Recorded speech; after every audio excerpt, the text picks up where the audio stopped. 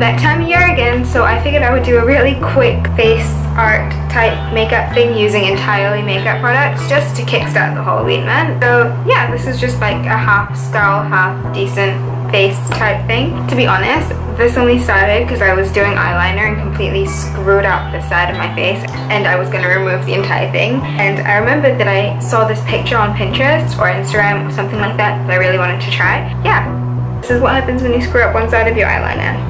Just like a really quick last minute Halloween idea using entirely makeup product. You know, for those times where you're like, oh, I want to go out for Halloween but I don't have the costume. Well, entirely makeup products, just eyeshadow and concealer, and liquid lipsticks.